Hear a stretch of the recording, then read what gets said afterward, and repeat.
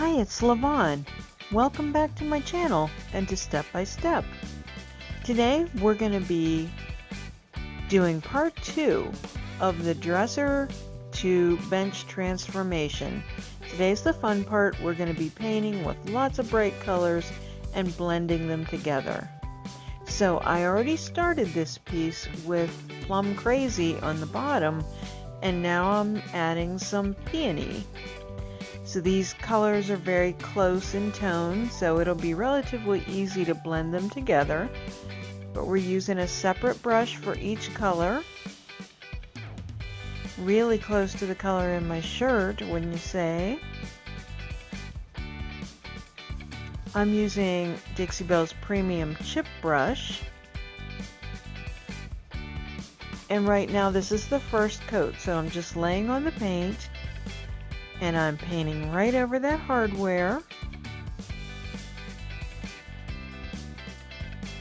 We replaced the hardware that was on the dresser. It was kind of a plastic, kind of very simplistic knob. So I'm trying to decide exactly where I want the colors to go in the first coat. The first coat is sort of like a road map for your colors, so the coverage isn't that important. What is important is that both of your colors are wet when you start to blend.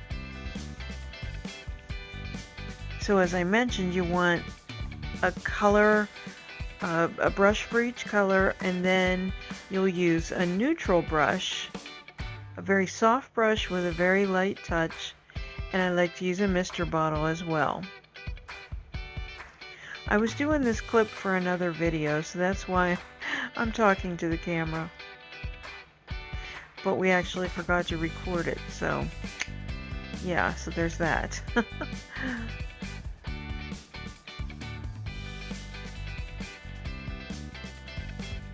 You'll have this from time to time. So you can use different types of strokes, feathery strokes, diagonal, horizontal, vertical, whatever, um, to soften that line. Just want to use such a light touch. And then that color, that line will go away. So now we are painting with some soft pink into the peony. And again, these colors are all in the same family, so they're going to be real easy to blend together. It's when you go to a different uh, color that that's when it's a little bit more challenging to blend.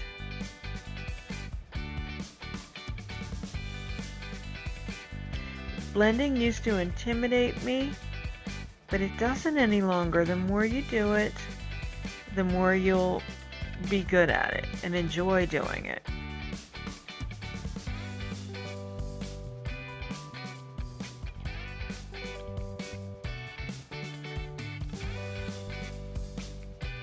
You'll figure out a few tricks, and the biggest one is knowing when to walk away. That's what most of the people in my classes say after they either in their class or when they go home and try it. They just have to know when to walk away, and that's difficult.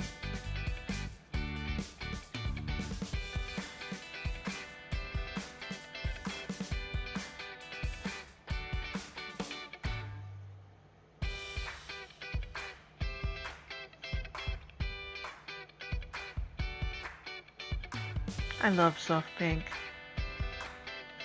I always imagine I'm smelling strawberries when I'm using it. So again, I'm misting my brush and I'm misting the line. Some people don't uh, do that. Some people blend when the paint is dry and the, the brush is dry, not the paint. Paint sort of has to be wet, but the, the brush being dry. I prefer uh, to use a little bit of wet.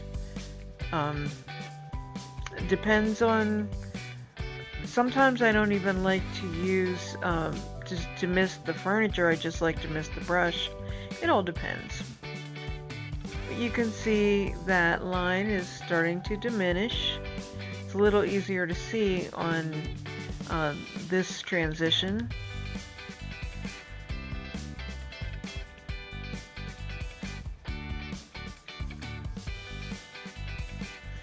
Just want to work the line until the line disappears. And I think we've achieved that.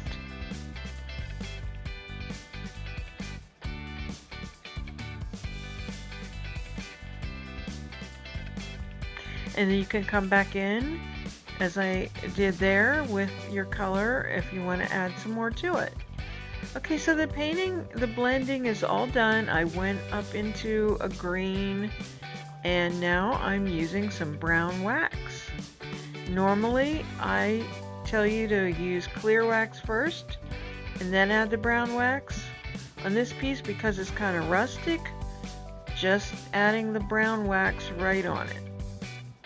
It's kind of toning down the sherbet effect. And I like to wax the hardware as well.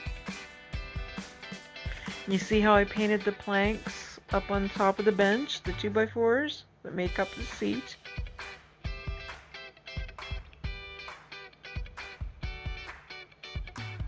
Just want to work that wax in there and just use your paper towel or rag and just move that wax around until you're happy with the way it looks. Pay close attention to the corners of the drawers and also the hardware.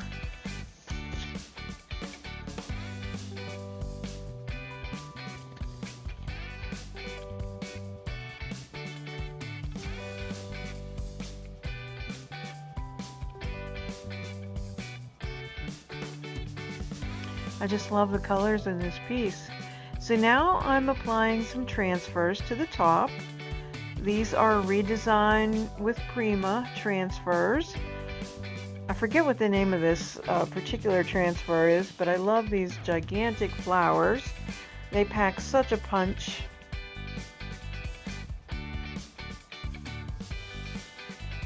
And we've talked about transfers before, but they're so easy to apply especially these because you're just applying one flower at a time as opposed to a great big transfer.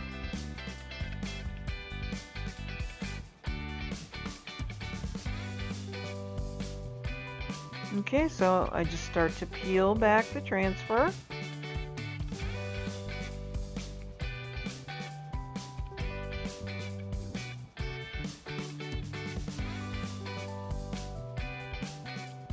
And if some part of it doesn't come off, you just lay it back down and rub it some more.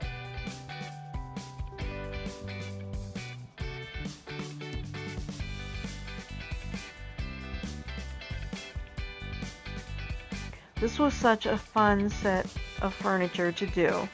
I did the table and chair first and my customer bought it and then she was looking for a bench. I showed her my uh, dresser transformation and she loved the idea so it was uh, sold before I even got a chance to put it on the floor and then she brought a table to me uh, to paint so four pieces um, I used a little sandpaper to uh, distress the transfer a little bit and now I'm going back over it with wax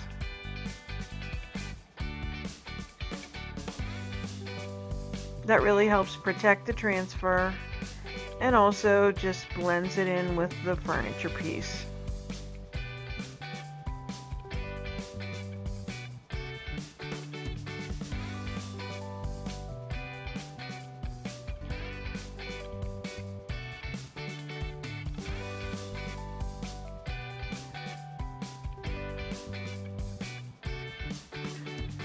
If you are interested in Dixie Belle products, the link is in my description box.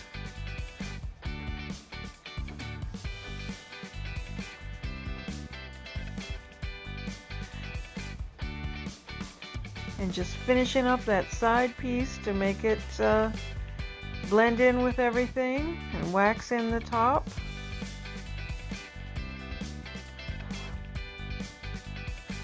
Big wax brush, which is actually a large stencil brush, really does the job. And let you do it quickly.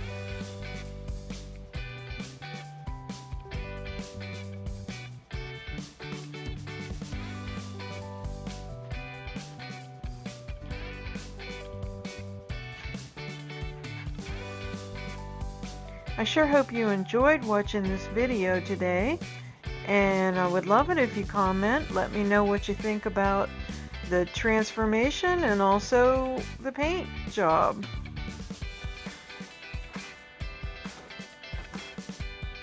And if you haven't subscribed to the channel, I hope you'll consider doing so.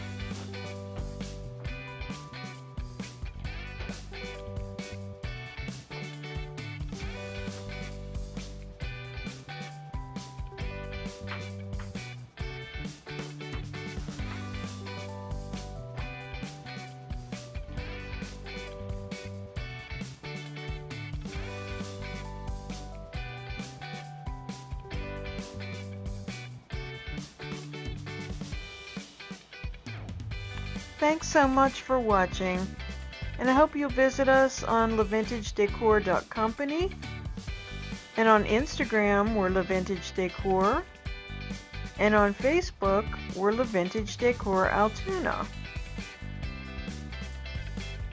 Stay well.